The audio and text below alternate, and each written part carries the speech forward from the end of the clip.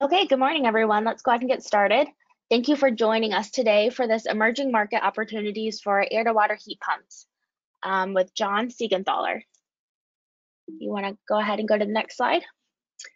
Um, today's presenters, um, you'll have myself as a moderator. My name is Carly. I do marketing and events here at Enertech. You'll also have Tim Wright, VP of Sales for, at Enertech, Jeff Hammond, who is also um, Vice President of Technical Services at Enertech, and John Siegenthaler of Appropriate Designs. To get the most out of this webinar, we encourage you to take notes. We will be sharing a recording after the webinar.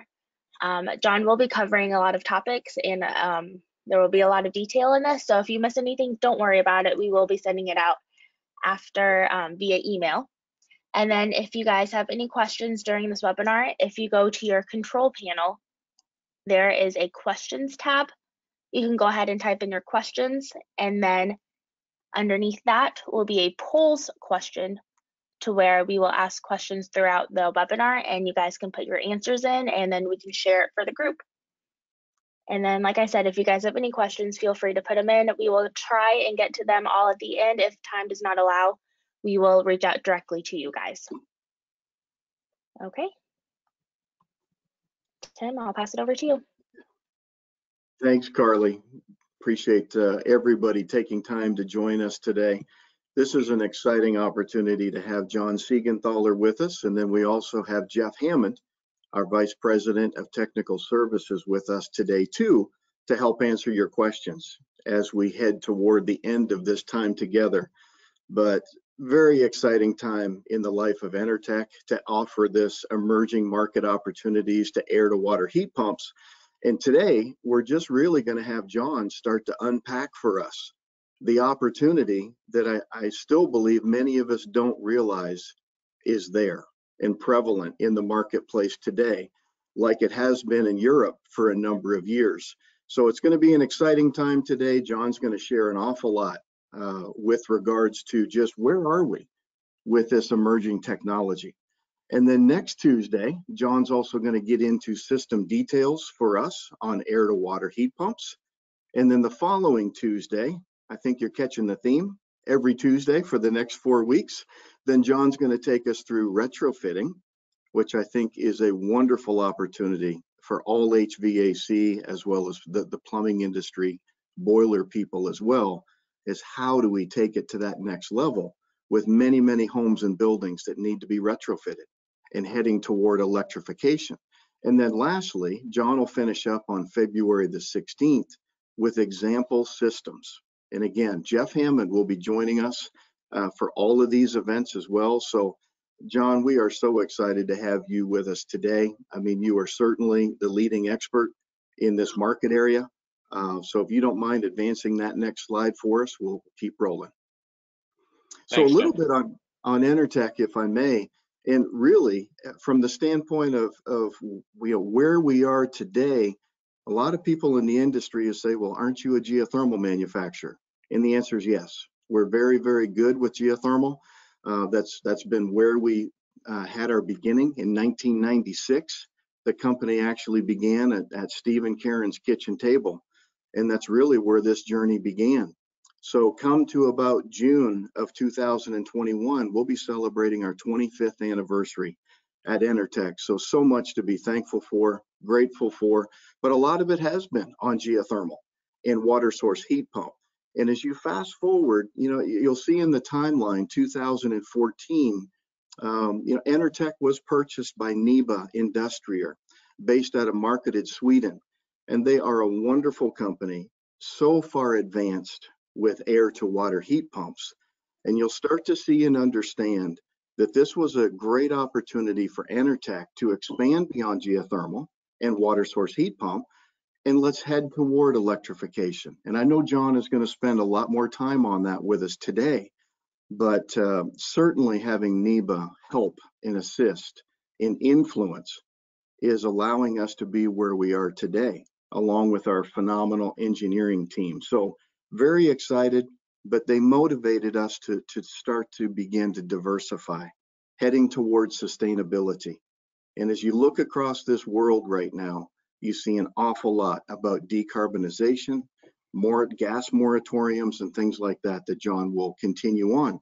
But you'll also see that Enertech started to head towards solar PV, and we offer that as a distributed product.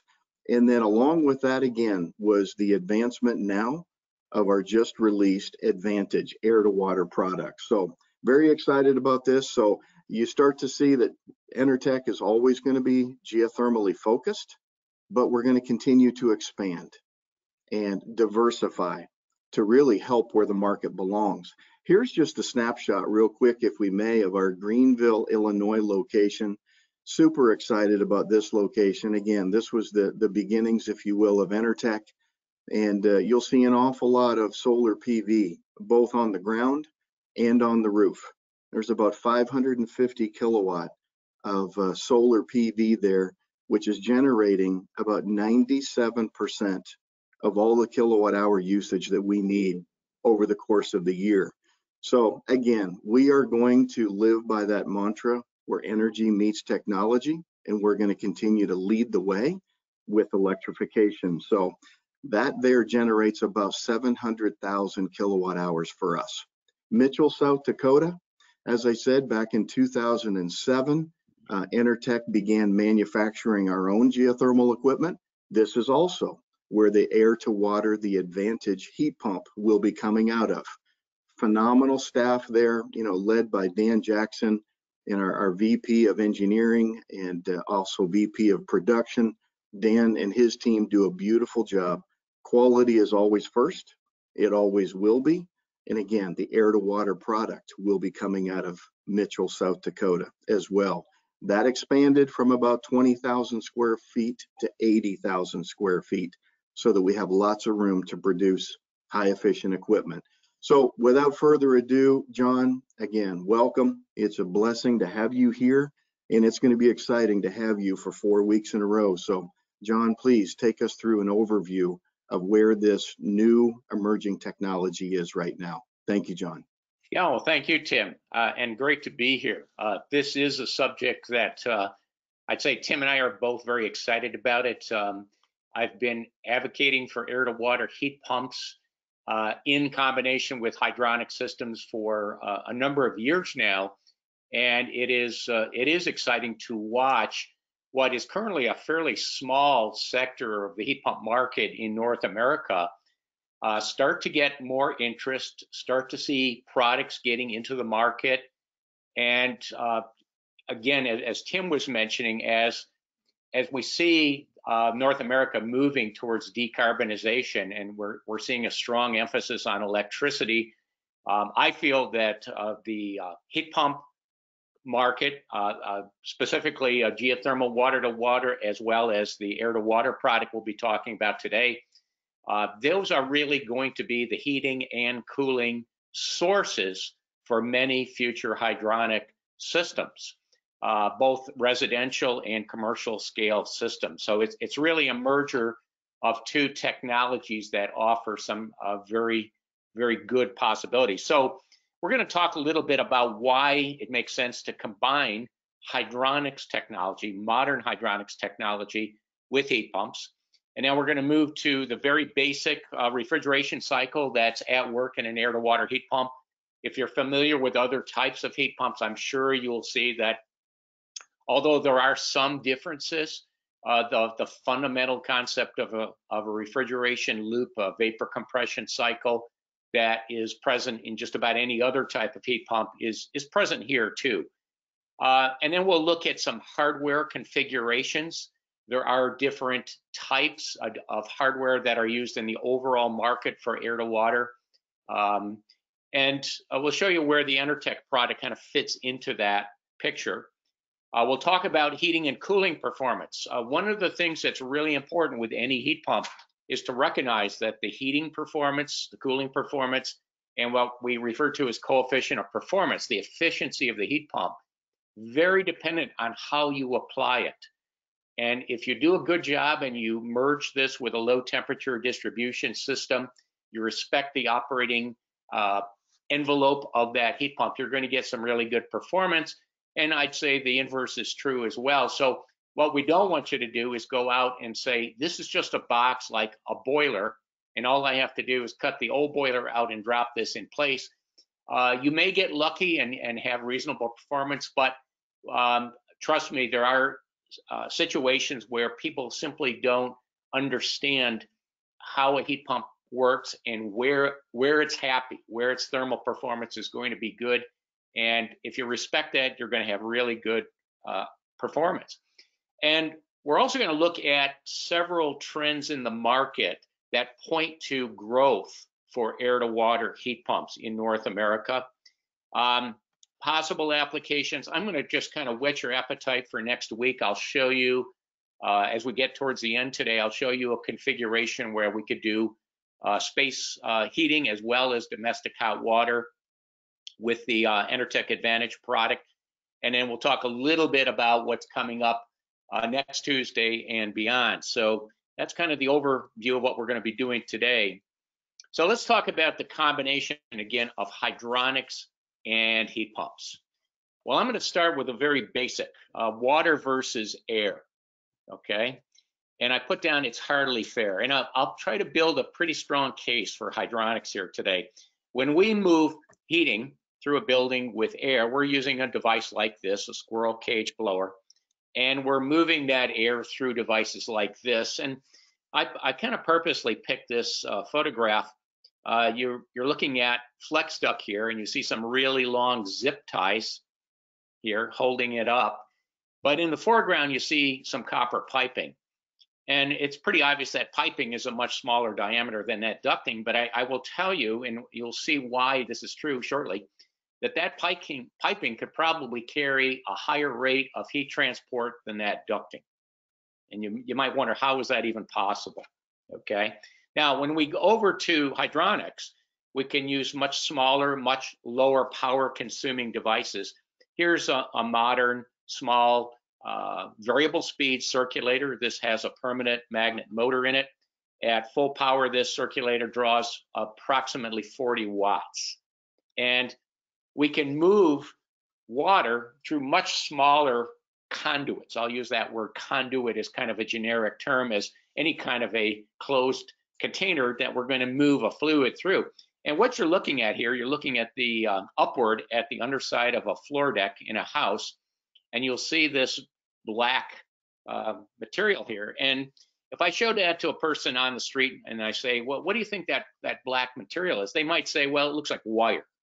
You know, they're used to seeing wire run through holes in floor joists or maybe stapled to the side of the floor joist. Well, that's half inch uh, PEX, PEX aluminum PEX tubing.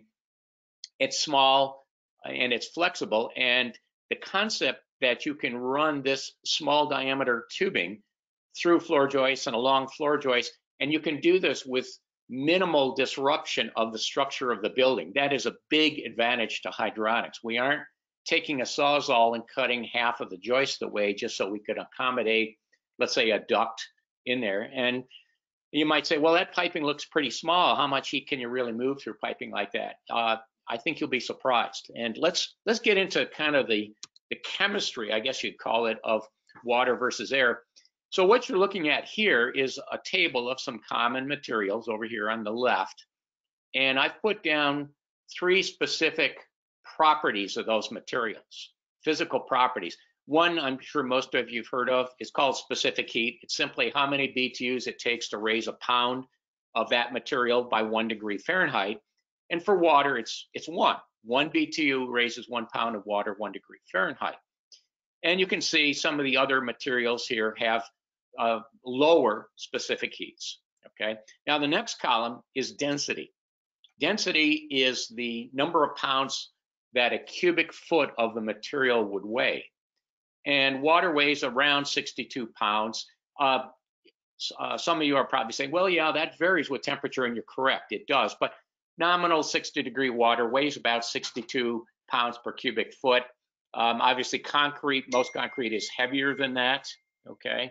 And again, you'll see some other materials here with density. Now, here's the important part. If you multiply specific heat times density, you get another property called heat capacity. And what heat capacity is, is the number of BTUs that it takes to raise a cubic foot of the material one degree Fahrenheit. So it's different from specific heat. Specific heat is based on weight of the material.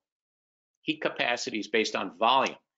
So if we look at the heat capacity of water, well, specific heat of 1 times 62.4, okay, so we've got heat capacity 62.4 BTUs to raise a cubic foot of water 1 degree Fahrenheit.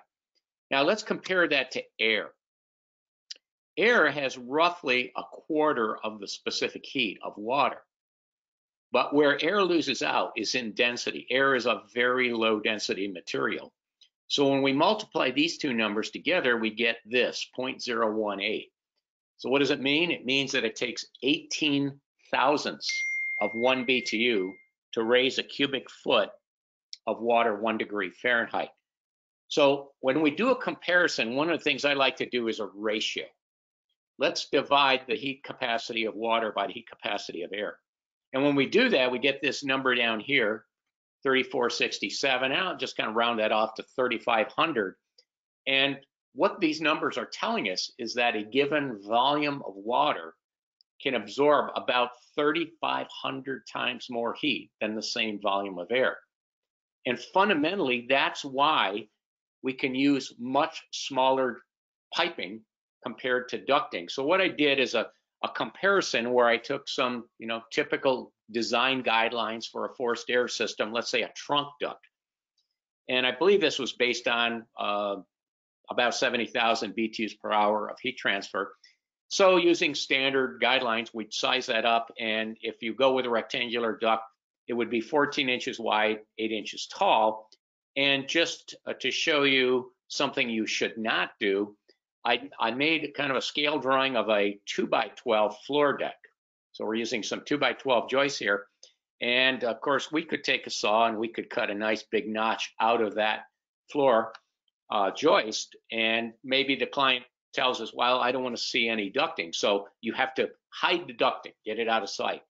Well, I'm, I'm sure everybody watching would realize here that this is going to destroy the structural integrity of that joist. Perhaps some of you have been in basements and looked up and seen examples of what I call sawzall surgery, where somebody has taken a really large hack out of uh, a floor joist or maybe even a support girder. Now let's contrast that. We can move the same amount of heat, again, using standard flow rate limitations and temperature changes in the water. We could move that same amount of heat through a three quarter inch tube.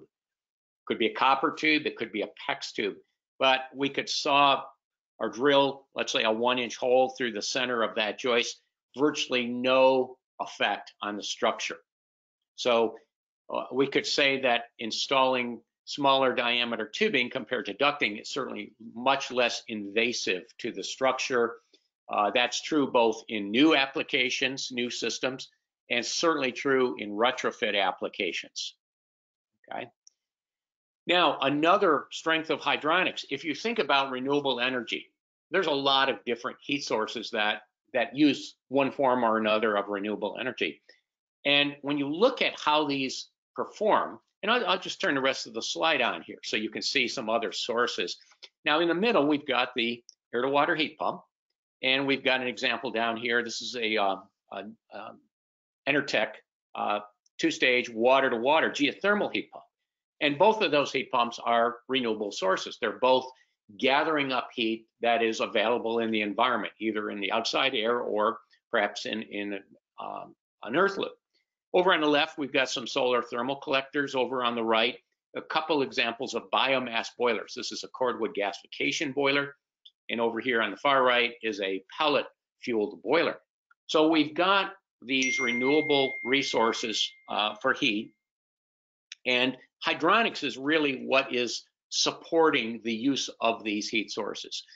And the point I want to really drive home to you is that regardless of which of these renewable heat sources you want to work with, if the balance of the system, which wouldn't be the distribution, the heat emitters, the controls, and so forth, if the balance of the system isn't designed to respect the operating characteristics of these heat sources, you're going to be disappointed in how they perform. And again, over the years that I've been involved with hydronics, I've seen, unfortunately, too many cases of this where somebody uh, really is enamored with one of these renewable sources and they assume that they can simply stick it into a house that has whatever for a distribution system and somehow magically it's going to adapt to the pre-existing conditions in that building and, and work well. And that's just not the case. And, and a quick uh, story that I'll, I'll, share with you. Um, imagine that you're going to get involved with nascar racing and here's the plan and, and let's say this is my plan okay I'm going to go to Italy and I'm going to buy a Ferrari racing engine. I've actually had an opportunity to see one of these, and they're half a million dollars, beautiful piece of hardware. I'm going to bring the Ferrari Ferrari racing engine back, and I'm going to install it in my Cub Cadet lawn tractor, and I'm going to put it on a trailer and take that off to the next NASCAR race. And hopefully, some of you are chuckling a little bit at this point because you realize that that Ferrari engine is is way too much power. It's not properly matched to the drivetrain and the the balance of system, I'll say. And obviously, that's not going to make a good racing vehicle. Well, think about that from the standpoint of a heat pump. If we take a potentially high performance heat pump and we saddle it with a poorly designed balance of system, we're just not going to get the optimal performance from that. Okay. Now, what are, again, why, why hydronics? Why should you take a look at hydronics if you want to use renewable sources? I always want to start with this, unsurpassed comfort. The reason hydronics technology is used is for achieving unsurpassed comfort.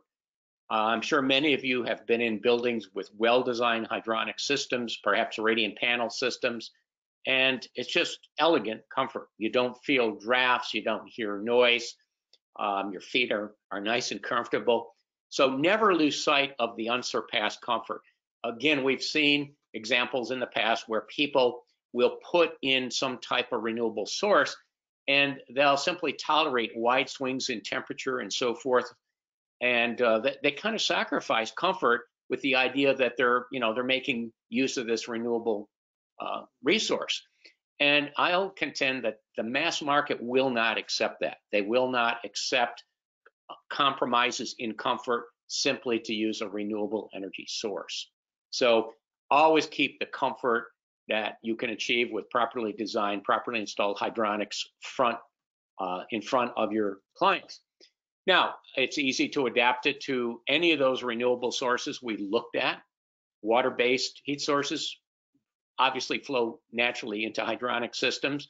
Uh, there are plenty of approaches that use low water temperature, which is going to definitely improve performance on heat pumps, as well as most of those other renewable sources. The, a key idea with using hydronics and renewables is to keep the water temperature as low as practical.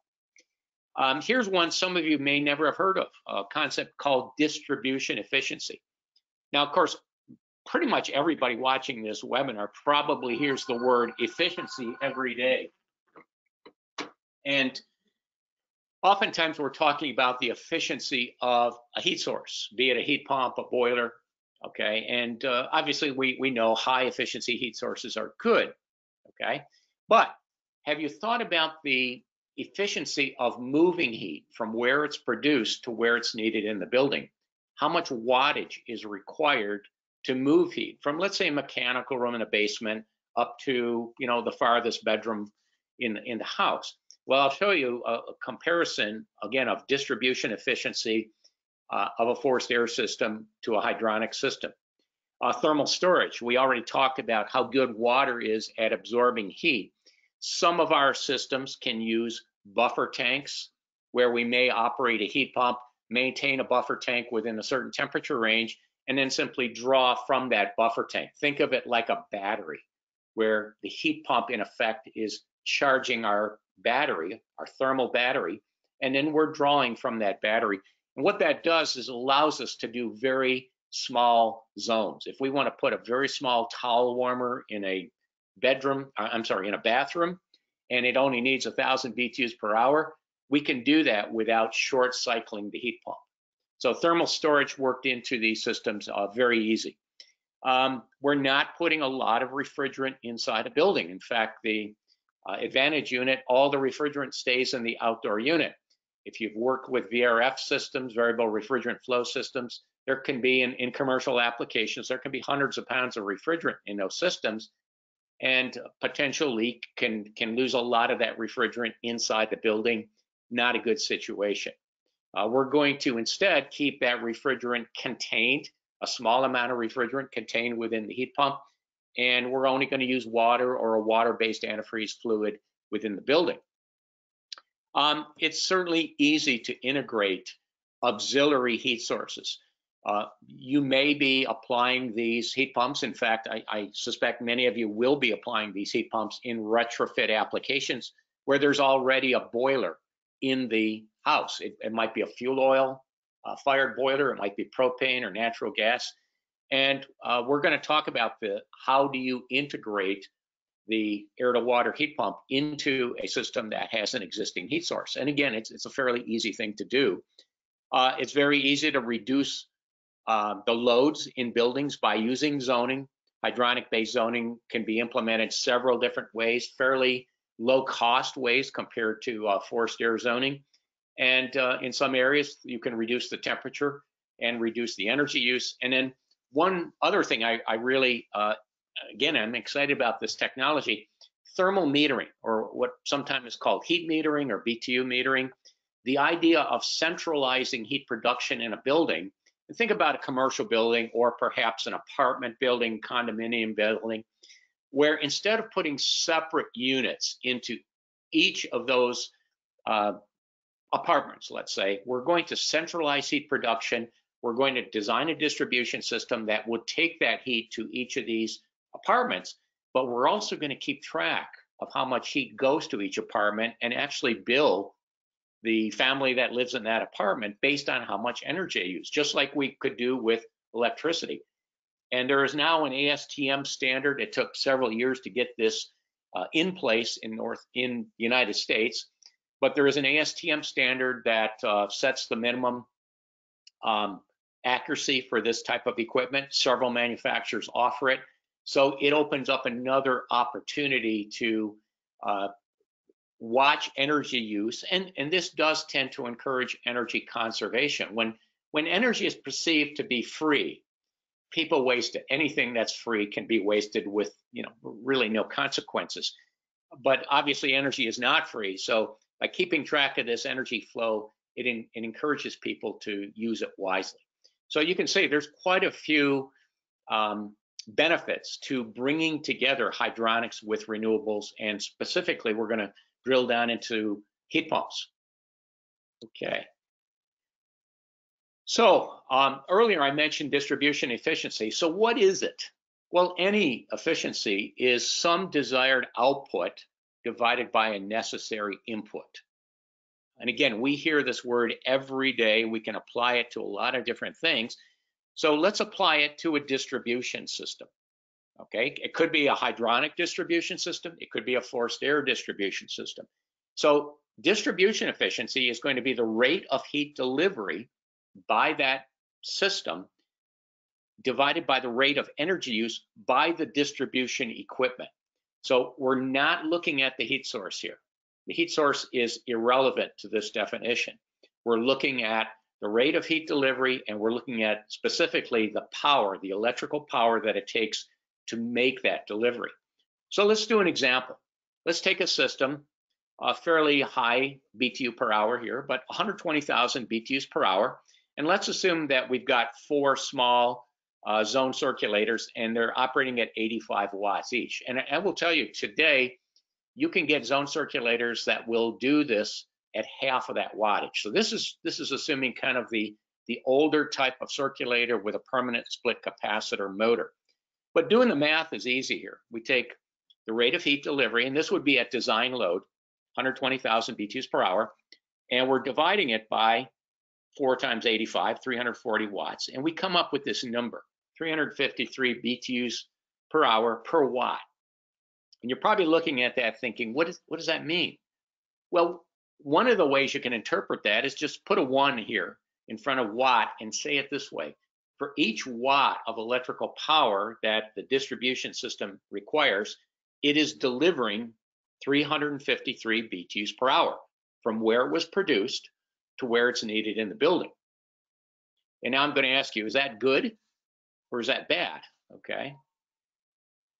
Well, it's hard to know because you don't have anything to compare it to. It's it's like uh, if I said um, I could sell you a car that gets 135 miles per gallon.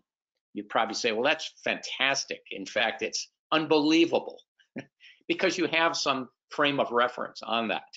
If I told you I could sell you a boiler that has 60% combustion efficiency, you would probably look and say, well, that's terrible. You know, boilers today can be upwards of 90% efficient. You have a frame of reference. So let's put a frame of reference here. Let's think about a furnace. This is nothing special. This is a standard furnace with a, a standard permanent split capacitor motor on the blower. And that when that blower's on, it's drawing 850 watts, and that furnace is delivering 80,000 BTUs per hour. So again, we've got all we need for the numbers. 80,000 BTUs per hour divided by 850 watts gives us 94 BTUs per hour being delivered per watt. So now you've got two numbers. You can make a comparison. And in this case, and I want to stress, these numbers are not meant to represent the entire hydronics approach versus the entire forced air approach. They're just two specific examples. But in this example, the hydronic system is delivering almost four times more energy to where it's needed in the building per watt of electrical power input. So again, when we talk about system efficiency, certainly the efficiency of the heat source is important, but it's not the it's not the sole determination of system efficiency. We should also be looking at the amount of electrical power that it takes to move heating and cooling uh, through the building. And again, why is this possible? Simply going back to that heat capacity of water versus air. Water is is far better material at absorbing heat and carrying it along through piping uh, to where it's needed. And I won't bore you with a lot of calculations, but we've done calculations, and this is a, a simple system. We've got a buffer tank. This could be heated by a heat pump. Um, we've got a small pressure regulated circulator like this, okay, state of the art circulator. And we're going to a manifold, and that manifold goes out to uh, several circuits with half inch PEX tubing. And we're going to assume eight individual circuits going out to eight of these panel radiators. And these panel radiators are a modern version of what some of you probably know cast iron radiators. These are made out of steel. Uh, they're much, uh, uh, much lighter, much lower water content, much faster response. And uh, one of the ways that we can distribute heat from a heat pump is to go out to panel radiators like this. And these are nominally two feet high, six feet long, and we've got eight of them there. And we're going to assume, just to keep the calculation simple, that each of them requires 120 feet of half inch PEX. That would be this tubing here between the radiator and the manifold. So say 60 feet out, 60 feet back. Well, if you run the numbers on this, and, and I should mention, by the way, some of you might be saying, well, that's a pretty big radiator. Well, yeah, it, it's big because we're assuming 110 degree average water temperature. So we're sizing that radiator for conditions that would allow an air to water heat pump to operate under uh, very favorable COPs. Uh, if we go to higher water temperatures, we, we can reduce the size of the radiator, but fundamentally there, there's always going to be that trade-off that we'll have between the water temperature we want our system to work at and how big our heat emitters have to be. Now, I'll summarize. We could use this system to deliver around 30,000 BTUs per hour using only 8.6 watts of circulator input power. Okay, that is off the shelf available technology today. It's not what we can do five years from now. You could go out today and buy the technology to do that. So let's look at the distribution efficiency. We're delivering actually a little more than 30,000. If you actually look at the total output of eight of those radiators under those conditions, we're delivering about 30,800 BTUs per hour using 8.6 watts. So we're at uh, we're approaching 3,600 for a distribution efficiency. So let's make a quick comparison. Here's the furnace. Remember we did that calculation. 80,000 divided by 850, and we got 94 BTUs per hour being delivered per watt of electrical input. And we'll just compare it to what we just talked about, where our distribution efficiency is 3581. So again, let's do a ratio. We'll divide the 94 by the 3581. So look at the implication here. The implication of, again, these two specific systems being compared. We're delivering heat with that modern hydronic system using 2.6% of the electrical energy that the forced air furnace required. And again, I want to stress this is not about the efficiency of generating heat. It's about the efficiency of moving heat through the building. So we can be much, much lower in terms of our electrical power requirement when we use a hydronic system to deliver heat through a building. And I feel that's very important moving forward. Uh, you know, again, uh, many incentive programs today uh, focus on the heat source efficiency, be it a boiler or be it a heat pump. We want to look at total overall system efficiency, and hydronics really uh, makes a significant impact on what that overall system efficiency is. Okay, now let's move on. We'll talk about the basic refrigeration cycle in an air to water heat pump. And here it is, uh, just a generic air to water heat pump operating in heating mode. So we, we have an outdoor unit and we're bringing outside air in. And of course, this air could be quite cool in the wintertime. It, it could actually be below zero degree Fahrenheit air. And we're blowing it past our evaporator coil. The evaporator coil has refrigerant that is changing from a liquid to a vapor. It's absorbing that low grade heat. And if we follow it back in, we come back down through our reversing valve and go into our compressor down here. Compressor is going to compress that vapor refrigerant, bring up its pressure, certainly bring up its temperature. It's going to discharge the high pressure, high temperature gas. It'll do a little U-turn here through the reversing valve and go into our condenser. Now in a air to water heat pump, the condenser is a water cooled heat exchanger. It's using water to absorb heat from that refrigerant, causing it to condense back into a liquid. And that water stream is then carrying that heat back into the building.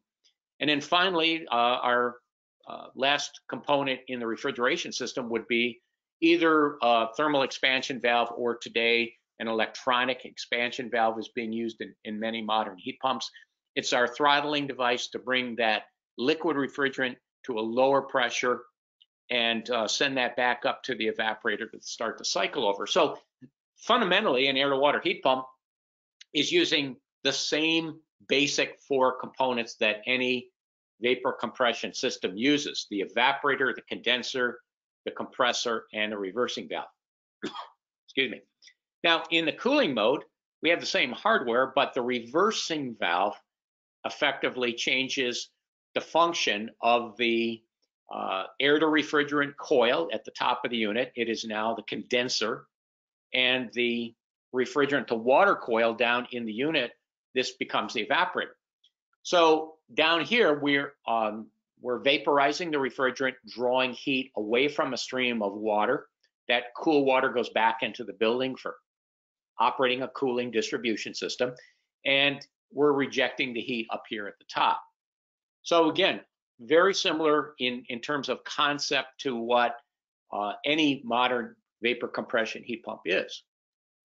Uh, I just drew it out here so you could see uh, the evaporator uh, in the heating mode would be your refrigerant to air coil, and then your condenser would be, it, it's some type of a heat exchanger. It could be a brazed plate, uh, stainless steel heat exchanger. Uh, other heat pumps may use a shell and tube or shell and coil type heat exchanger, but fundamentally it's a heat exchanger taking heat from the hot refrigerant, putting it into a stream of water.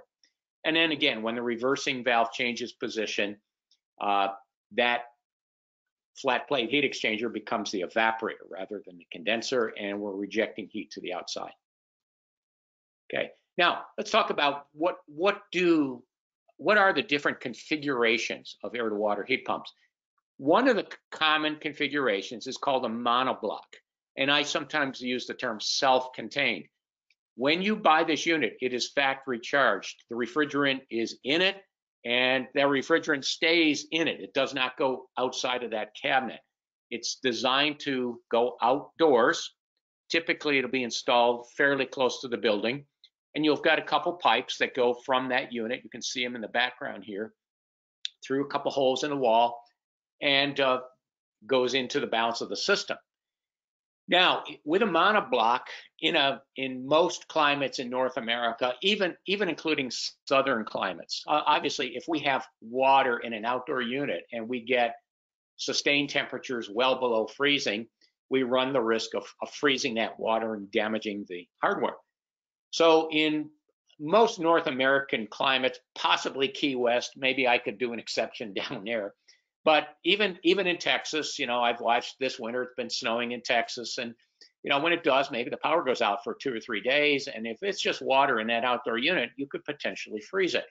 So most manufacturers want to see some type of an antifreeze, typically uh, a non-toxic antifreeze like propylene glycol, depending on the location. Uh, if it's, uh, you know, uh, mid-America, it might be a 25% solution. If it's uh, Moose Jaw, Alaska, it's probably going to be a 40%, maybe even a 50% solution. So we're essentially setting up the entire system to operate with a propylene glycol antifreeze solution. Another alternative is to use a heat exchanger and set the glycol portion of the system between the heat exchanger and the heat pump, and then use water on the other side. Um, I've seen it done both ways. I, I, do tend to favor this. I'm not a huge fan of antifreeze. Uh, those of you that have worked with it know that it's uh, it's slippery, it's expensive, it adds viscosity and so forth. It's it's not the utopian fluid, but I, will summarize it this way. The only good thing about antifreeze is it doesn't freeze. So we need it in these systems in just about any North American application. Now you might say, well, why do you want to put antifreeze in the whole system? Why not just use this heat exchanger? Well, the heat exchanger definitely adds cost and it, it causes performance differences. When you put a heat exchanger between a heat source and a load, there has to be a temperature difference across that heat exchanger to drive heat through it. And ultimately what that does is forces the heat pump to operate at higher fluid temperatures. And as you'll see, higher fluid temperatures tend to bring down both capacity uh, COP Got a little background noise going on here. There we go. All right. Now the other style, uh, another common style of air-to-water heat pumps is called a split system. And here we're, we're using a refrigerant line set, just like we'd use with a unitary air conditioning system. We have an outdoor unit and we have an indoor unit. And that indoor unit is about the size of a small ModCon boiler. Typically it hangs on the wall. And we're going to get a refrigerant line set and run it between them.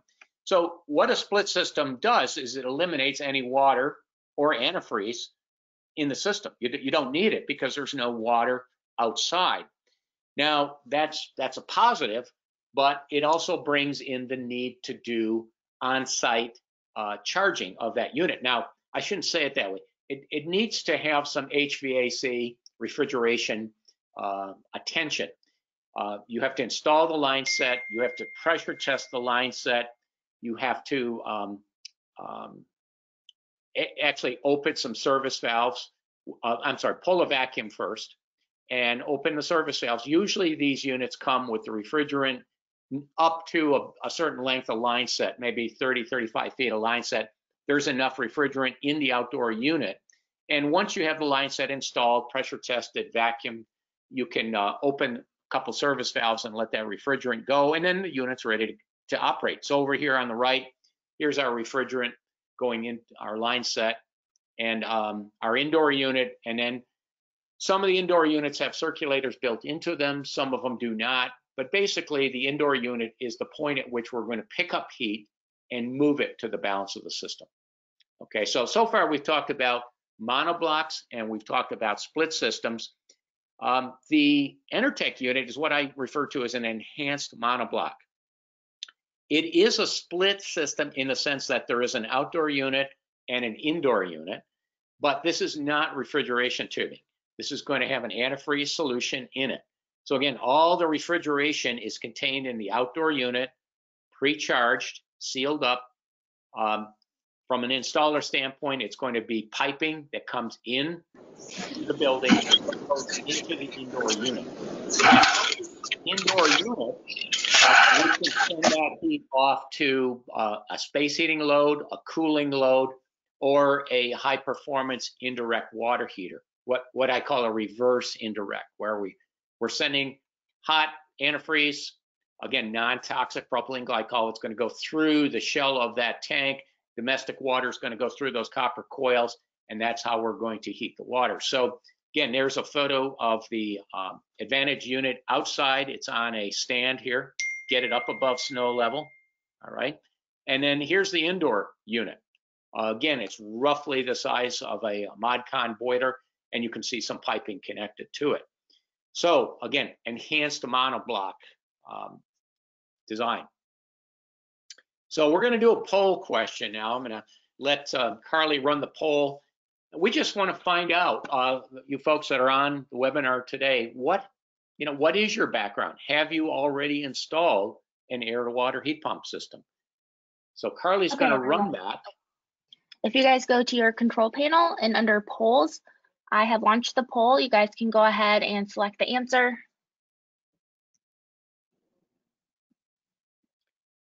And these answers come back pretty fast. So uh, in just a short time here, Carly's going to close that. So again, have you had any experience with air to water heat pumps? They have been on the North American market in limited supply for several years. Uh, not a big segment of the market at, at present, but uh, some of you may have worked with them. So Carly, what do we uh, what do we see in Yep. here? I'm gonna go ahead and close the poll. Um, it shows that 18% has said yes, 44% said no, and 39% said not yet, but I'm interested in doing so. Great. Well, that that's that's probably a good indication. In fact, uh, I'm I'm pleased to hear that uh, was it 14% have had some uh, experience with this already. Okay, so we'll go on here. Heating and cooling performance. Now, again, uh, many familiar with the the basic uh, function of a refrigeration system and how we gauge uh, the heating performance of that with any type of a heat pump, we're using an index called coefficient of performance or COP. And if we look at the energy flows involved in a very simplistic model here, we have the free energy, low grade heat that we're absorbing in the case of an air to water from, from outside air. We're adding some more energy in form of electricity to run that compressor. So these are both inputs and basic thermodynamics, the two inputs have to add up to the output under steady state conditions. So our output here, uh, Q3, that becomes the uh, numerator in this fraction, and we're dividing by the electrical input. So we're looking at a ratio that is telling us how much total heat we're sending to the load divided by how much electrical energy it takes to run this heat pump, at least the, the compressor of the heat pump. And the higher that ratio is, the better, uh, the better our unit is performing because the higher the COP is, the more heat per watt of electrical input power. Now, basic, again, heat pump thermodynamics. When we look at what a heat pump is doing, fundamentally, it's taking low temperature heat, in this case from outside air, and it's moving that heat, or what I call lifting that heat to a higher temperature. And in the case of an air to water heat pump, putting that heat into water at that higher temperature. So think about what the heat pump is doing is lifting the temperature of that heat. And anything that reduces the extent of that temperature lift improves the performance of the heat pump. Now, obviously, we can't control the temperature of the outside air, but we do have some control over the temperature of the water that that heat goes into. Specifically, we control that by the design of our hydronic distribution system. If we try to ask a heat pump to produce 180 degree water because our baseboard in the house has it, we're, we're just not going to get there. And the lower we can bring that water temperature down, the higher the COP is going to be. So that that's a good practical way to think about COP or perhaps explain that to your client. What we're trying to do in designing this system is to minimize that temperature lift to get good performance. Now, I'll just show a couple curves here. Uh, the curves over on the left, these are generic curves. Um, many air to water heat pumps today that are uh, either referred to as cold climate or low ambient, uh, they can actually operate at conditions pretty similar to this. And what we're looking at is heating output here, BTUs per hour. And we're looking at that plotted against outdoor temperature. And we're also looking at it plotted against three different leaving water temperatures. This would be the temperature of the water or water antifreeze solution that's leaving the condenser of the heat pump. And one of the things you can see is that the highest curve here, the blue curve, is when we're leaving the condenser, in this case at 95 degrees. You might be thinking, well, what can I do with 95 degree water? That's like bathtub temperature water. There are uh, several types of radiant panel heating that can actually operate at those temperatures, even on a cold day. Okay, a bare slab with fairly closely spaced tubing, good insulation, relatively low load per square foot in the building, 95 degree fluid would do it. Now, there are, you know, certainly systems that need higher temperature fluids. So we've got two other curves here, one plotted at 113 and one at 131. And you can see heating capacity does drop off as we go to those higher temperature fluids. Not a lot, but it, it does drop. And the other thing you can see as we vary from basically the 60s outside where very few buildings need heat down to minus 10, we get a huge range of heating capacity. Okay, so we can't really point to a heat pump and say that's a four ton heat pump, therefore it puts out 48,000 BTUs per hour. That's not the case. It can put out 48,000 BTUs per hour, perhaps at some reference outdoor condition and some corresponding leaving water temperature. But if we vary either of those, we're, we're going to get a variation in heating capacity. And it's a similar story with coefficient of performance. The lower we can keep the water temperature, the higher the COPs are going to be for any given outdoor temperature. All right, so again, these are generic curves. Let's look at some specific curves, in this case for the five ton rated, a nominal five ton rated uh, Advantage heat pump. And again, you get specific curves here for three different water temperatures, and you'll see the lower temperature, water uh, that's at lower temperature produces a higher heating capacity. And eventually all three of these curves kind of come together. And we were talking about this earlier uh, this morning. This is a firmware control in the unit that is protecting the compressor against uh, specific temperature and pressure limitations. So we, we don't want to allow a heat pump to operate in conditions that would put a undue strain on the unit. So this unit has the intelligence to know when the compressor needs to limit itself. And that's why those three curves uh, basically come together like that. But again, strong function of outdoor temperature. You will see that this unit can actually operate right down to uh, a minus 13 degree Fahrenheit outdoor temperature. Uh, even where I live in upstate New York, that's that's a rare occurrence. And when it does occur, it's only there for uh, perhaps a few hours. Okay, so again, it's it's about temperature lift. Anything we can do from our system design to minimize our temperature lift is going to push us up in terms of our heating capacity. COPs, uh, very similar to what we looked at here. Uh, if we look at roughly zero degrees here and leaving water temperature of about 113, you can see we're actually up a little bit, well, maybe at about 2.4 COP. It's actually really good performance. Uh, that's at a low ambient, zero degree outdoor condition, producing 113 degree fluid. Uh, there, are, again, are many types of hydronic systems that could meet a building's design load with that temperature. Okay. So again, temperature lift. Now, cooling performance. Again, it's really about temperature lift, but in this case, it's from the chilled water temperature that we are producing to cool our building up to whatever the current outdoor temperature is that we're dissipating heat to. Uh, uh obviously, we don't control the outdoor temperature, but within limits, we can control chill water temperature. Uh, the, the big thing with chill water temperature and cooling is to make sure that you do proper latent cooling. Latent cooling basically refers to moisture removal.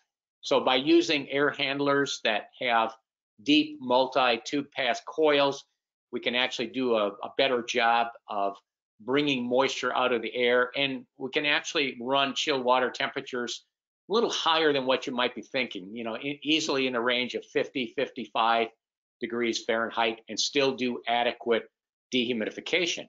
So if we can run a air to water heat pump and produce 55 degree chill water versus 45 degree chill water, we're going to get better what's called energy efficiency ratios. And again, um, I won't spend a lot of time on it. The, the bottom line here, the warmer the chilled water can be, that I know that sounds like an oxymoron, but the warmer the chilled water can be and still satisfy both sensible and latent cooling loads, the better the performance of the heat pump, both in terms of its cooling capacity and, if you will, the cooling equivalent of COP energy efficiency ratio. Okay. Now, we've talked we've talked a bit about hydronics. We've talked a bit about uh, fundamentally what the heat pump does. So let's talk about the market. Why is the North American market poised for strong growth in air to water heat pumps? All right. So I'm going to start with a look at the global market. Uh, there's an interesting publication. I actually didn't know this publication was around. I, I happened to come across it a few years ago at one of the AHR shows and it's it's published in Japan. It's called JARN. And if you're used to the the news, the um, air conditioning, heating, and refrigeration news, this is sort of the Japanese equivalent. So it comes out, I believe it comes out every uh, month, and they also have a website. But one of the things that JARN does is they keep track of the air to water heat pump market. They, they keep track of several markets, but air to water heat pumps. And um, Back in July of last year, uh, they reported about 3.4 million air to water heat pumps used globally. And the annualized growth rate that that represented over the previous year was almost 26%. And China is a huge market for this technology. There were about 2 million of these units installed in China. And roughly 600,000 of these units went into the European market and that was led by France. Uh, many of you know France is heavily invested in electric electrical energy distribution, and the other uh, countries, Germany, Italy, UK was also a pretty strong market and a growing market for air to water. Uh, many of these were installed as part of decarbonization plans uh, run by these countries, okay, phasing out uh, gas-fired boilers as well as oil-fired boilers and the manufacturers. Uh, I'm sure you recognize many of those names. Uh, many of the companies that currently sell ductless mini split heat pumps in North America have air to water heat pump products. They just have not put those products into the North American market, at, at least at this point. So, um, you know, why am I showing you different names here? I just want to show you there's a lot of manufacturers and there's a, actually a lot of, of this product being used uh, globally and there's several manufacturers, uh, again, up in the Canadian market. So uh, let's look at North America. One of the things that is a, a, very strong growth market in North America right now is net zero buildings, both residential buildings and commercial buildings. And a typical net zero house has a low loss thermal envelope, so it's well insulated, it's well air sealed. And the way to get to net zero is basically with solar photovoltaics. So what we're doing either on the building or on site or as part of a community solar project, uh, we're trying to produce, to, to be truly net zero, we're producing as much energy as the building is using over the course of a year, okay? And this relies on what are called net metering laws. And net metering laws are many different utilities that have this. Um, net metering is essentially the idea that if I generate a kilowatt hour on my rooftop solar array, I can send that kilowatt hour back through the utility meter and it will, in effect, run the meter backwards and give me full credit. In other words, the utility will in effect pay me the same amount for that kilowatt hour that it would charge me when I pull it back from the utility to the building. And think about that. That's like using the utility as, from a practical standpoint, an infinite, free, and 100% efficient battery. Okay, where we could send kilowatt hours back out onto that grid when we have a surplus. It could be a sunny day in the, in the summer or the spring, the fall, where we, we don't have a strong heating load or cooling load. We may not have either load. Yet our PV system is producing and we're sending that energy back out. And in effect, that utility is going to store that energy for us at no cost. And we can draw it back perhaps on a cold winter night when we want to run that heat pump and produce some heat with it. So you look at some of the statistics here, the US market is growing very, very rapidly. The Canadian market is actually even outstripping the, the US market. So the definite trend with net zero is towards all electric buildings. So uh, heat pumps certainly fit in with the concept of a growing net zero market. Okay. Now, another thing that's happening is decreasing heating loads.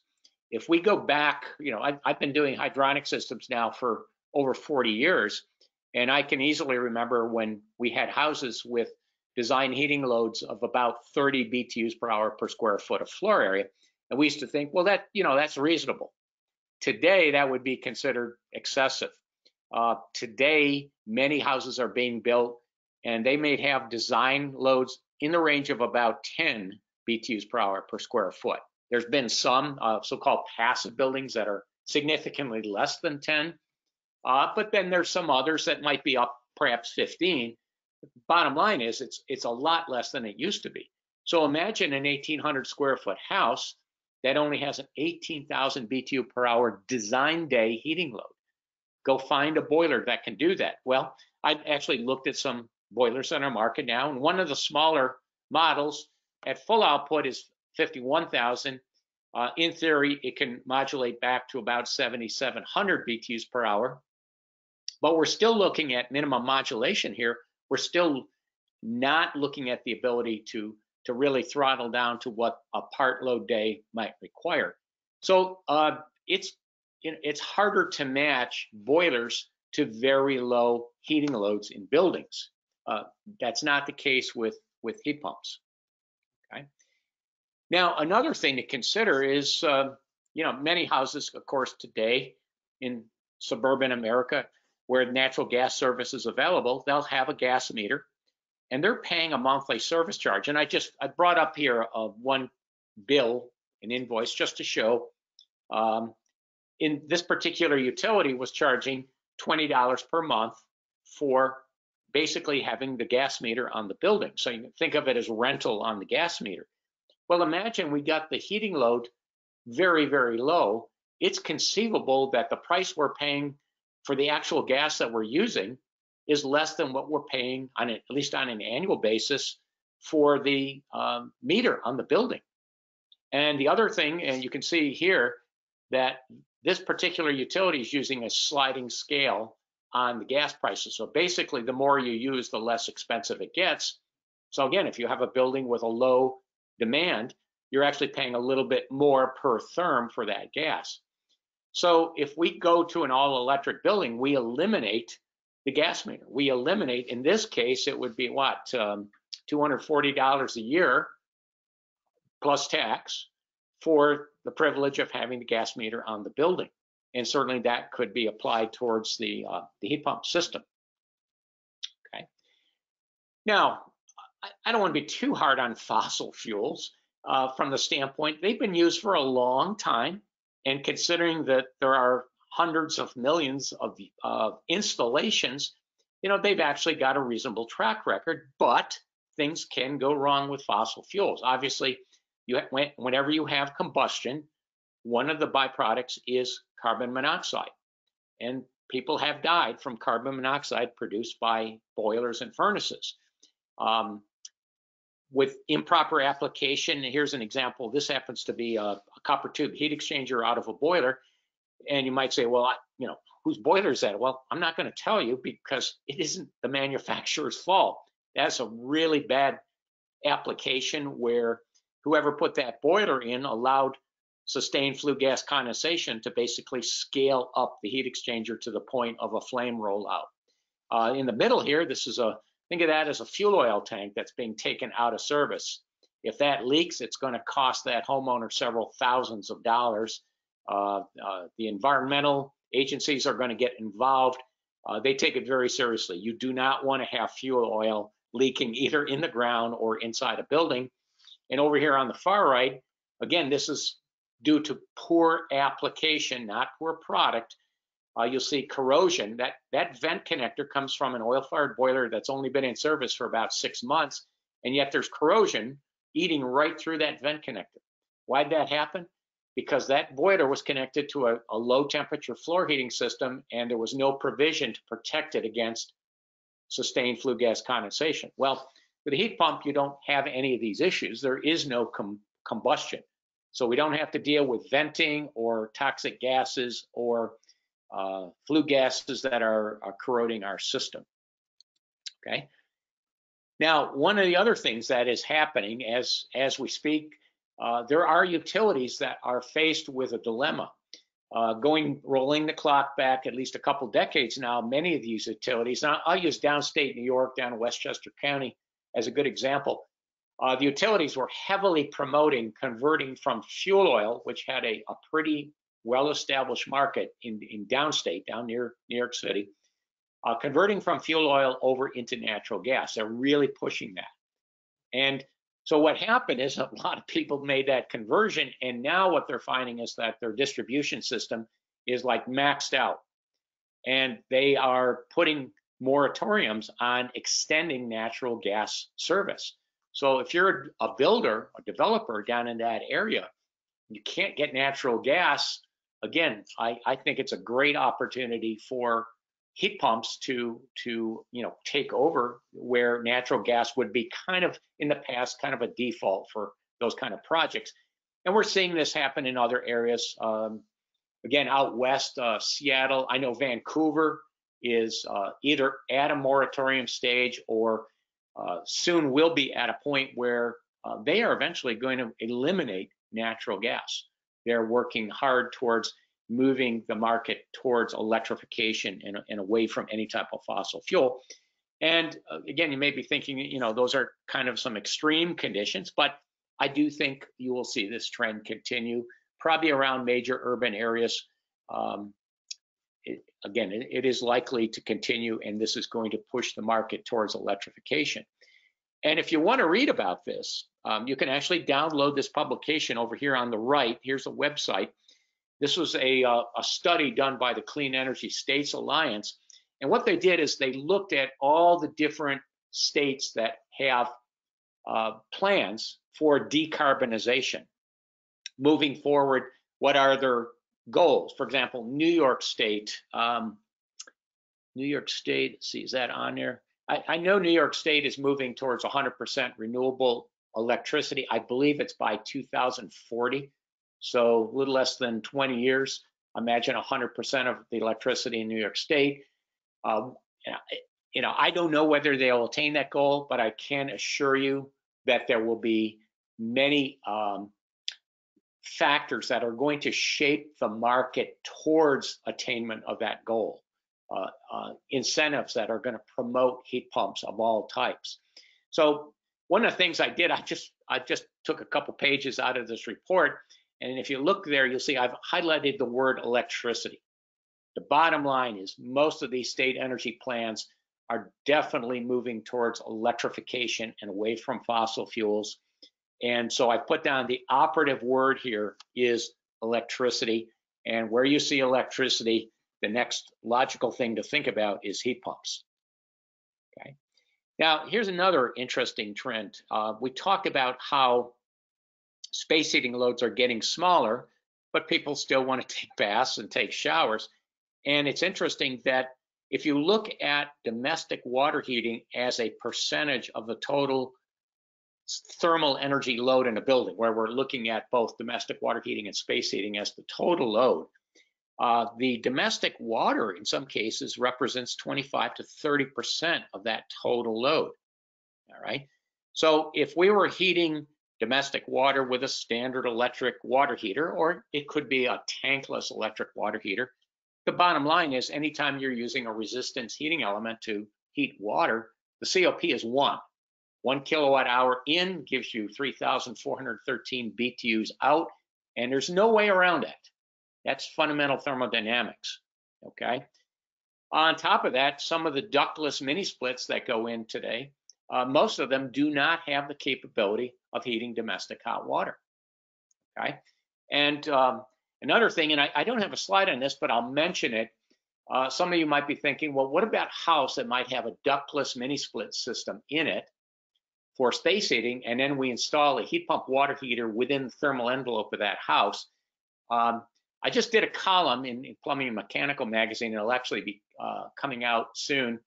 And it, it shows you that the net effect of basically putting two heat pumps in a in a cascading arrangement like that um, lowers what the effective COP would be. Now, um, I did do an example here, and I'll, I'll just kind of uh, summarize it. What I did is I compared using a heat pump, and I'm assuming that the annual COP of the heat pump, remember a domestic water load is an annual load, so we're taking advantage of the high ambient temperatures in the summer as well as uh, you know lower COPs in the winter. So let's assume on average we're doing 2.5 as our seasonal, you know, our annual COP, and let's compare that to electric resistance heating for a load of 60 gallons per day of domestic hot water uh, the temperature rise of the water is from 50 to 120 degrees Fahrenheit. We're going to assume that's in a location where electrical energy is 12 cents a kilowatt hour. If you do the math on that, uh, the heat pump is going to save about $270 a year over that electric water heater, just on the domestic water load. So that's that's pretty significant. And the uh, the Advantage heat pump does have a dedicated domestic water capability in it. Uh, it has uh, the intelligence to know when that domestic water tank needs heat and will switch the load over to do that. So it can do that in both heating mode as, as well as in cooling mode. So domestic water heating uh, being done by a heat pump compared to just a standard electric resistance heating scenario does represent a, a good significant savings. Now, I mentioned I've been in hydronics for 40 years and I've seen a lot of this. And I summarize it that boilers don't offer cooling. Uh, oftentimes, we'll get people that are excited about hydronic heating. You know, perhaps they've been in a building with radiant floor heating and they love it from a comfort standpoint. They're excited about it. And then the question comes up, but what do I do about cooling?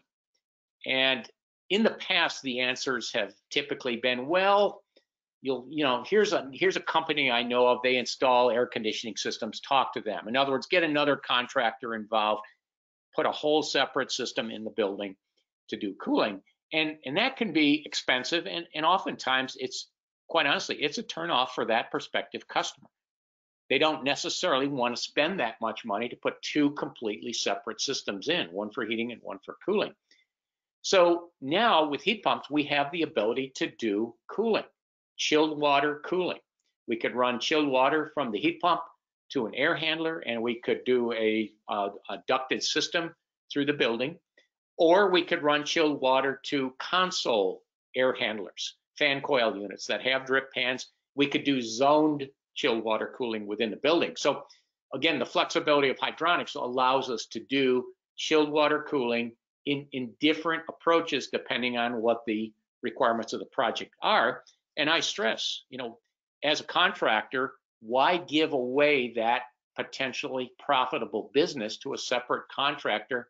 Tool up, learn heat pumps, and learn how to do chilled water cooling. And you know, now you're a, a one-stop shop for heating, cooling, and domestic hot water. And again, there are several different ways. One of the newest ways, not widely known yet, but radiant panel cooling uh, especially in commercial structures. And I, I don't want to get off on a tangent on that, but I will stress to you that that is a market to watch, especially in, in commercial segment, radiant panel cooling. Now, another thing, and this is our kind of our final point on trending here. Um, air to water heat pumps back in 2019 were given an award from the uh, EPA as an emerging technology. What, what does that mean? It, it means that the EPA is seeing the potential here. Um, and, and I do think this will eventually lead to, again, uh, legitimacy of the market, um, as well as per, perhaps this may become the basis of some rebate programs. Uh, they, they do have some performance uh, suggested performance requirements that, again, the, the uh, Enertech unit easily meets those requirements. And the other thing, uh, one of the states that has really stepped out and taken a lead with air to water heat pumps is Vermont. Uh, they have a $1,000 per ton rebate. And this is actually a listing. Several different manufacturers are recognized, including Enertech with both the two and a half ton and the five ton unit. So again, you can see $1,000 per ton over here. Uh, great incentive. Uh, and there, there, may be other incentive programs in the in the works uh, as this technology becomes more understood in terms of how it can perform and, and how does it fit into the North American market. So hopefully there we've looked at a lot of different trends and I see these trends basically coming together and certainly pointing to heat pumps as a kind of a macroscopic picture. But when we look at bringing hydronics and heat pumps together, certainly geothermal is is viable, has been used for several years. We've designed, my, my company has designed several geo water to water systems with hydronic delivery and they work great. Uh, not every project can take a geothermal heat pump. It could be land limited, so forth. So again, it's not about all air to water. It's about widening your offerings. If you're doing geothermal now, take a good look at air to water. It's, it's simply another tool in your toolbox to meet specific requirements on a project. Okay, so we're going to do another poll question. I'm going to turn back over to uh, Carly. She's going to run the poll. And um, are you considering adding air to water heat pumps to your system offerings? So Carly, I'm going to let you run that. Okay, the poll has been launched. I, I, guess you would say I have been a little bit biased leading up to this question. So um, again, we're trying to justify it, not just simply say, you know, you should take a look at this. Uh, we're trying to justify what what is coming together and not only thinking about it, um, you know, five years from now, 10 years from now, these these market factors are at work today, and I think uh, we're probably going to see acceleration of these trends that is definitely going to to push the heat pump market forward. So, okay, there you go. There are the results. Um, you can um, see that 81% say yes, 3% say no, and then 17% say maybe. Great. Good potential out there. All right. Well, we're, we're getting closer. I'm going to try to uh, wrap this up pretty quick, but you know, I've mentioned ductless mini split heat pumps, and today that these are prolific. There are, gosh, at least a couple dozen companies that offer these products in North America. Um, they are plug and play in a sense. They're, they're um, you know, you put the indoor unit in, you put the outdoor unit in, you run a line set, and, and so forth. But you know, they also have some limitations. So we want to let's talk about them. One of the things that I've observed over probably the last several years is that the folks that are doing net zero, the architects, the builders, the people that are doing the training, they really kind of default to ductless mini split heat pumps and they'll, they'll say something like, this is all you need to know about heating and cooling a net zero house. Just put in a ductless mini split heat pump. And, uh, you know, that that's really about saying, all right, a ductless mini split heat pump can put BTUs into a building or in cooling, take BTUs out of a building. True. Does it create good comfort? Is it, you know, the optimal approach? And over here on the far right, you can see I actually found this article, came across this article, and there's a website that you can look this up on, Pro, Pro Trade Craft. We've got a lot of interesting articles, but somebody did an article entitled Nine Ways to Hide a Mini Split. And I put a couple of them in here where they, They basically built a cabinet with a grill, put it over the front of the mini split. Well, yeah, that, that does hide the unit. What does that do to the airflow? What does that do to the serviceability of that unit? Uh, sometimes architects may not be as cognizant of the need for the service and the accessibility there. Uh, down below, they built a cavity here in the wall and put it in there. So yeah, you can get creative and you can you can try to hide these units, but um, if you do something like that, you want to make sure that you uh, are not interfering with airflow. Now, one of the suggestions that you'll hear in some of these training programs with Net Zero is basically put one or two of these indoor wall cassette units in, like you see in the photo here, and uh, run the line sets, the outdoor unit, and then just leave all the doors open in the house. And the rationale here is that since we have a tight building envelope and a high R values in the walls and the windows and so forth, that the air will tend to equalize within the building if you leave the doors open. That's partially true, but it's not a complete solution. Um, yes, the tighter the thermal envelope is relative to uninsulated interior partitions, the, the temperatures will tend to come closer to each other, but you're also going to find that that is, that's not going to give you perfect uniform temperature. So I actually took this off a website uh, verbatim. Leave bedroom doors open during the day. If you want to heat your house with a ductless mini split located in living room or hallway, you'll need to leave your bedroom doors open during the day.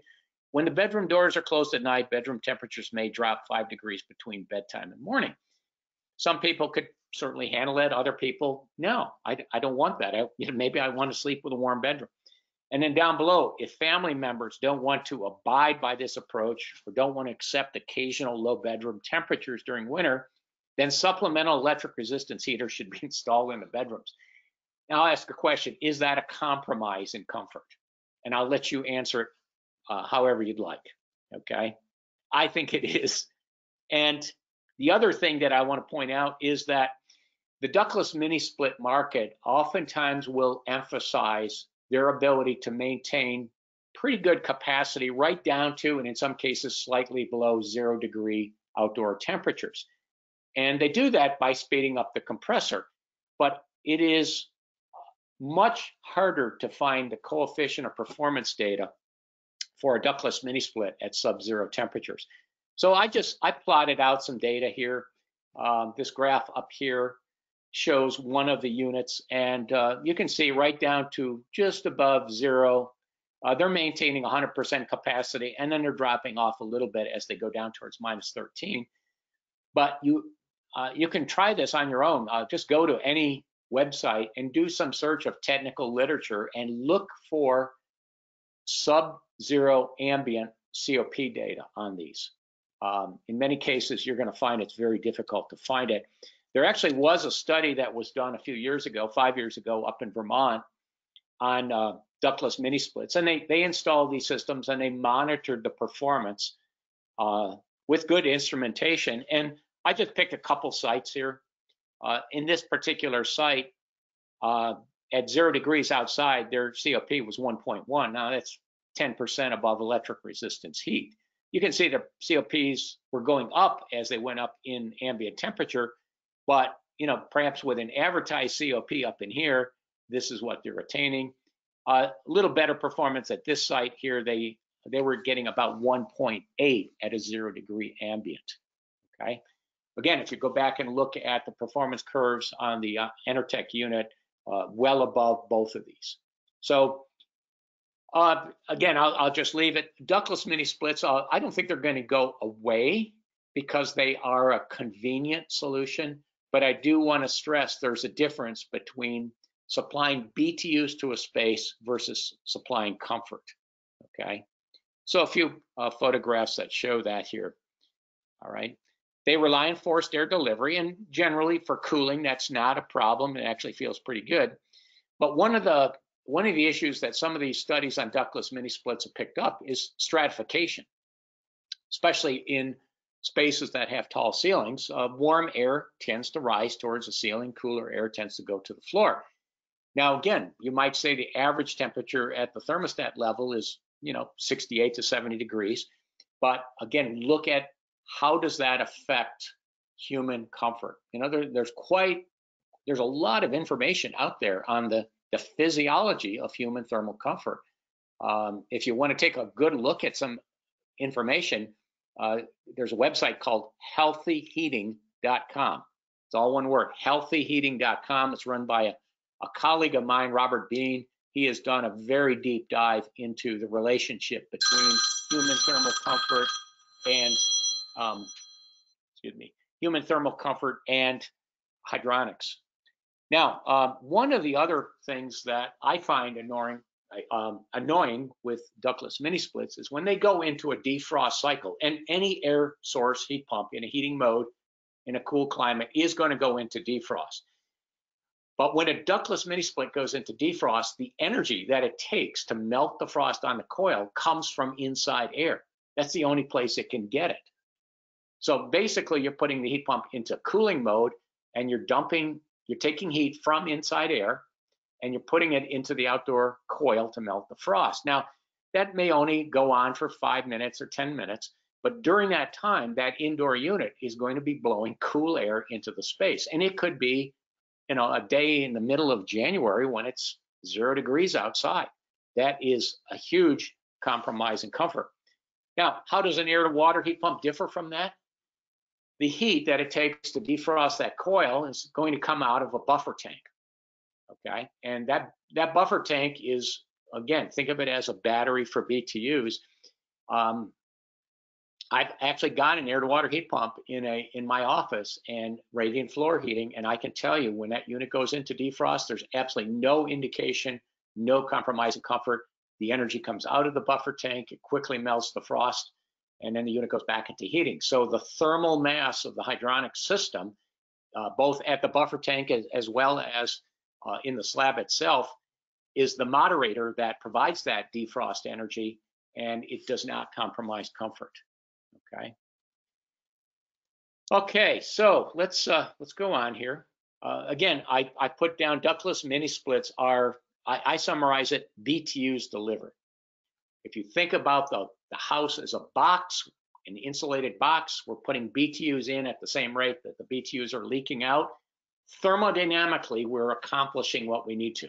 We're balancing heat loss with heat input thermodynamically. Question is, are we creating comfort in the process? Okay, hydronics can do a lot more for you. So beyond ductless mini splits, we can do um, certainly easy room by room zoning. Uh, we have both radiant and convective heat delivery. Uh, what you're looking at down here is a um, infrared thermography of a radiant ceiling. Over here is a panel radiator, okay? Uh, we could do zone cooling, we can do domestic water heating. Uh, we have the potential with a heat exchanger to take the uh, heat output from the heat pump in summer and put it into a pool, okay?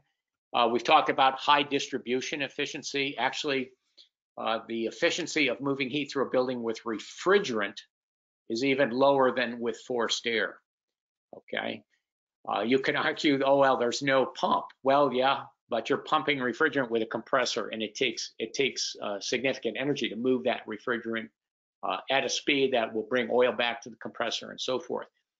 So, and we also, we don't have, um, in the case of a monobloc or an enhanced monobloc, we don't have any refrigerant in the building, okay? And that brings up our final poll question. Uh, we've been talking quite a bit about how the performance of a heat pump is optimized when we go to low temperature hydronic heating systems. So we're just curious, uh, the folks that are watching today, does your company work with low temperature hydronic heating systems?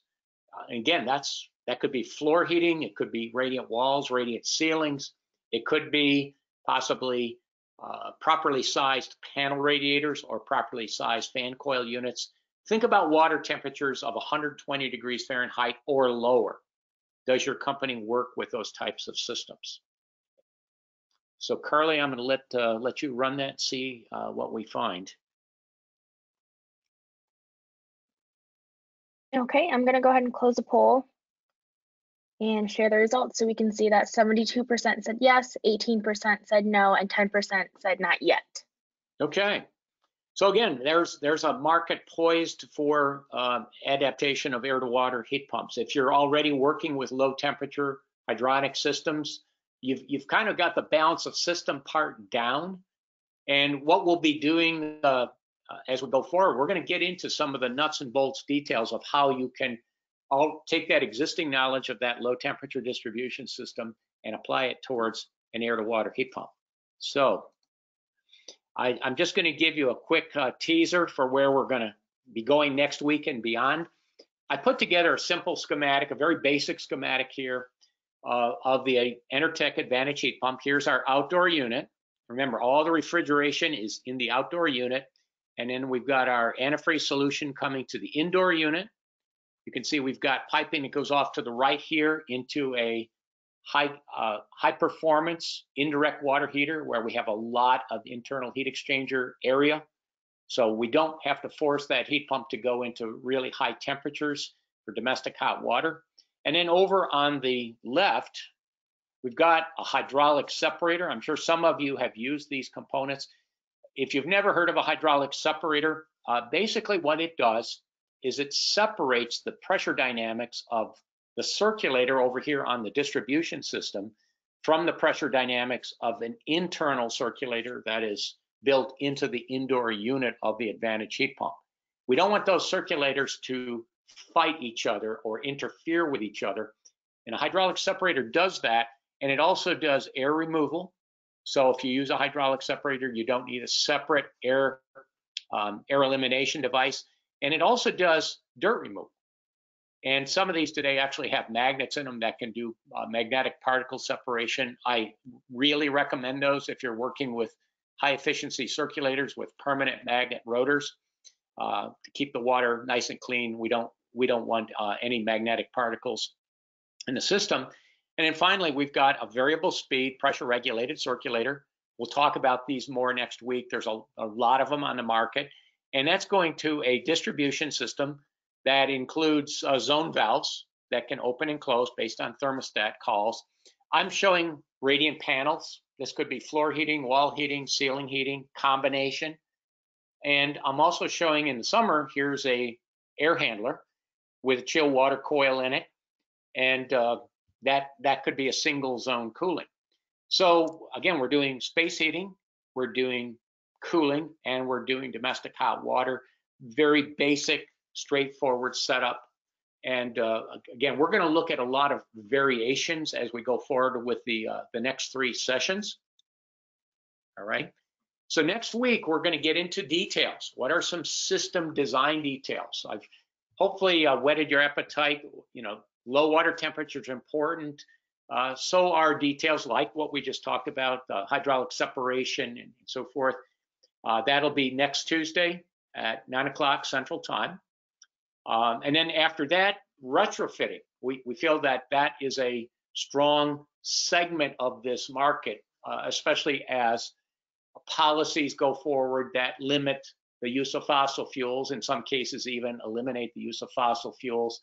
What do tens of thousands of existing homeowners and building owners do uh, as far as moving a air to water heat pump into a building that has gas fired boiler, oil fired boiler, and so forth. And then the last session we're going to do by mid February, we're going to look at some example systems where we're going to start putting together different types of distribution systems and different types of loads with, with various configurations, all built around the capabilities of that Enertech Advantage heat pump. So with that, I'm going to stop and go back over to uh, Carly or Tim. If we've got some questions, we've got a few minutes that we can uh, address some questions. Yeah, so I will go ahead and answer, uh, give questions out. Tim, Jeff, and John, whoever wants to answer them, go ahead and go.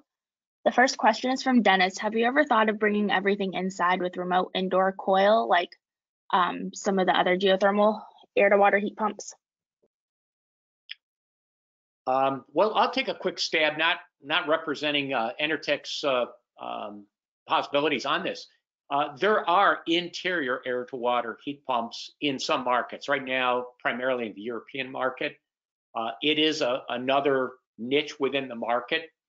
Um, right now, I'm not familiar with any offering from any manufacturer in North America for an air to water, an interior air to water heat pump. And just in, if you're wondering what is an interior air to water heat pump, essentially you duct the outside air in to the air handling section of the heat pump and then send it back outside again. Um, Tim or Jeff, I don't know if you want to touch on that or say anything.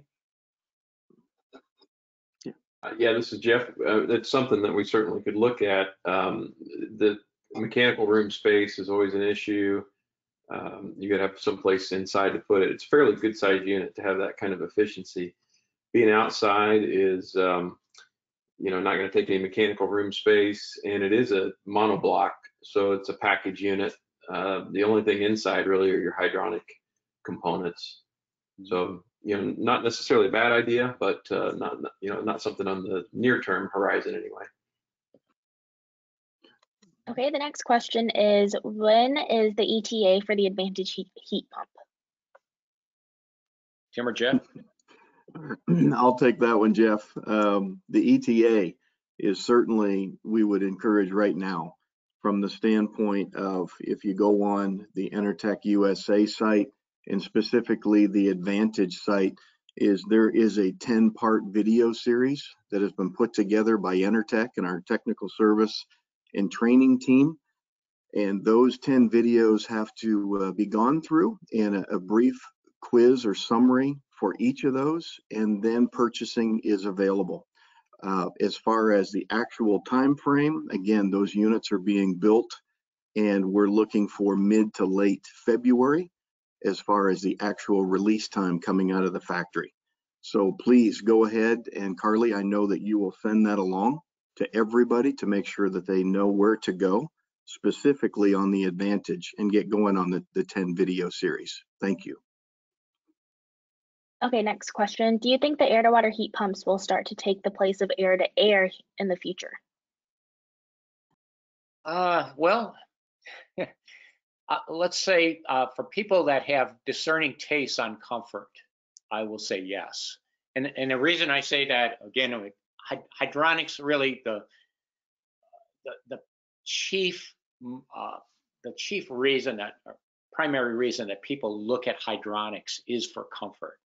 So it's it's a multifaceted answer. It depends on the attitude and, and who's making that decision, quite honestly. Um, air to air heat pumps from a builder's perspective are easier and less less complex than dealing with either air to water, geothermal, any any other type. But that builder is not the you know it's not the person living with that system. Uh, what I have found over the years with clients that uh, typically would contact me uh, when we were doing system design, many of those people had already done a fair amount of research. They knew they wanted it, and they they wanted it done properly. So uh, again, people that uh, have discerning taste when it comes to comfort uh, are going to gravitate towards hydronics over forced air, and I, I do think that uh, that holds potential for both geothermal, water to water, as well as uh, air to water heat pumps.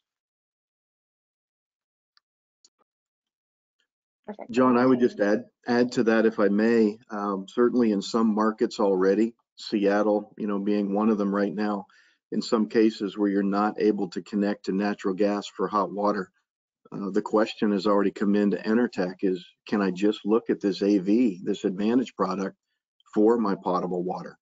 Uh, they've already got their heating and cooling system figured out. So we're working diligently on that.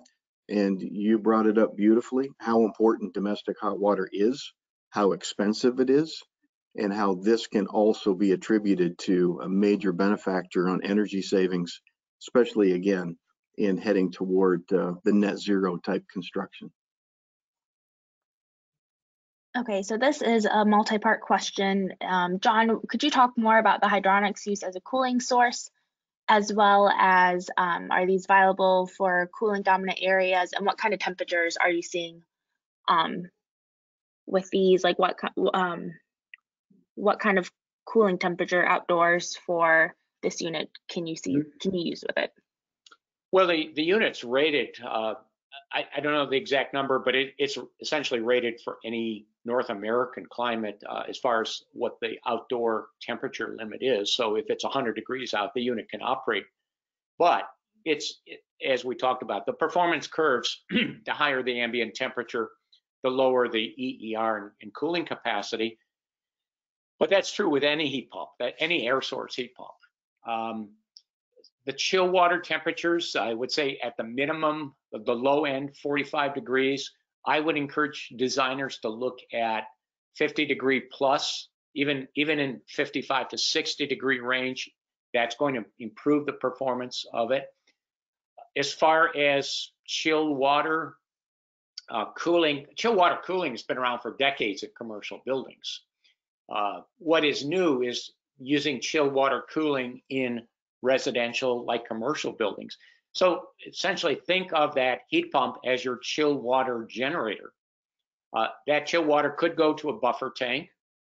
Uh, if you're doing a zoned chill water distribution system, for example, if you're putting four or five console fan coils in, uh, first of all, make sure those fan coils are rated for chill water cooling. They have to have condensate drip pans and drains because you're, you're going to create condensate on the coil. And the other thing I will stress with chill water cooling that some of the, especially the residential hydronic heating contractors may not have had a lot of experience with, it is absolutely critical to insulate any chill water distribution piping or components. Uh, running a copper pipe above a drywall ceiling and trying to run 50 degree chill water through it on a humid August afternoon is is is a, really a setup for a problem. You're going to have condensate forming within minutes on that pipe and dripping and, and staining. So if you're going to do chill water cooling, it simply requires that you insulate the distribution piping and make sure you have terminal units, you know, fan coils or air handlers that have drip pans built into them, and uh, you know, you run that, run those drip pans to proper drains. Okay. Um, the next question is, can this work for pool heat? Yeah, it can. Um, you would need a heat exchanger that you could you could set this up. And in fact, we have some schematics coming up. Excuse me. We have some schematics coming up in these uh, next sessions that show it. Uh, you absolutely have to have a heat exchanger between the heat pump and the pool water.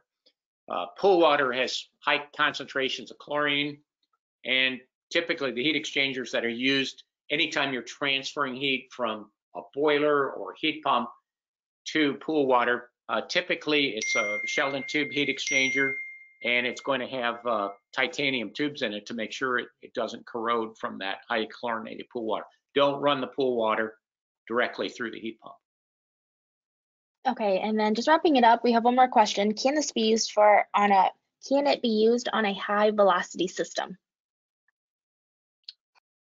Sure. Um, Yeah, we, there are high velocity uh, fan coils that could be uh, connected. Absolutely. hmm Yep. Yeah, the water the water coil in the high velocity air handler could certainly take the chill water. Uh, really, the difference with a high velocity system is uh, you're, you're using a higher static pressure blower and smaller ducting. So yeah, there, as Jeff was mentioning, there's several manufacturers that make that type of uh, air handler unit, and uh, it could be set up to go with uh, chill water coming from the uh, heat pump. Okay, and last question, um, and I also want to note that if your question was not answered today, we will get to it. Um, we'll reach out to you via email or phone call. Um, and then if you have any other questions after, feel free to send us an email and we can get those answered. Okay, so la the last question is, if the Advantage unit is operating in cooling mode, how does it provide domestic hot water? Jeff, I'll let you address that one. Sure. Yeah, it switches back and forth, and you can choose your priorities. Uh, most people will choose hot water as the priority, and it ramps up to uh, max speed, 6,500 RPMs to satisfy that tank quickly, and then goes back to doing cooling. It will do that in both heating and cooling modes. Uh, so you have two priority settings. Uh, you want hot water to be priority over heating and cooling? And then do you want heating to be priority over cooling? In case you have multiple zones and you might have simultaneous uh, heating and cooling calls along with the hot water call. So it's got a lot of flexibility there. Okay, that's all the questions we have today. Um, if you guys have any other questions, like I said, submit them via email. And then we will be sending out a follow-up email with the webinar recording, the presentation, and some other questions that we, we saw come in. So on that note, John, Tim, Jeff, I can pass it over to you guys for some final words. Um, Yeah, just to, go ahead, John. Yeah, I just, uh, prob- we're probably going to say the same thing. Tune in next week for uh, the next session. We'll get right into the details. Well said. And thank you, everybody, for taking time today. We do look forward to seeing you online here next Tuesday morning.